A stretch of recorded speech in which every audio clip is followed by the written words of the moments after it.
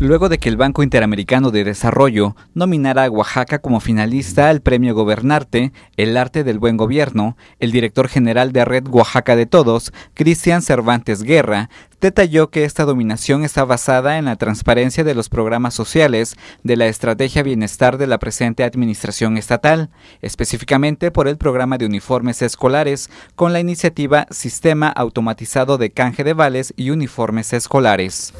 Pero lo que nosotros estamos, estamos concursando solamente el programa de, de canje de, del programa de uniformes, uniformes escolares. El programa de uniformes escolares este, consta es una entrega de, de a 970 mil niños. Uno de los, de los programas más, más, importantes de la estrategia de bienestar, ¿no?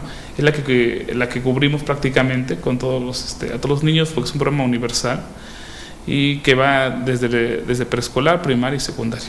Cabe destacar que Oaxaca es la única entidad que representa a México ante América Latina y el Caribe, y ello servirá para que Oaxaca se posicione como referente en cuanto a inclusión social se refiere, sin embargo, para obtener este premio es necesario que la población oaxaqueña emita su voto a través de la página electrónica del Banco Interamericano de Desarrollo, ya que el jurado basará su elección con el 30% de la participación civil. Estamos este, marcando pauta, ¿no? tanto a nivel nacional como a nivel regional, hablando de, América Latina. ¿no?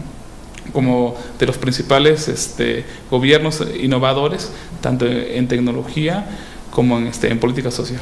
La fecha límite del sufragio es el 8 de diciembre y el 15 del mismo mes se anunciará al ganador.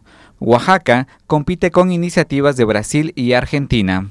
Con imágenes de Alan Ramírez, informó para MVM Televisión Celestino Chacón.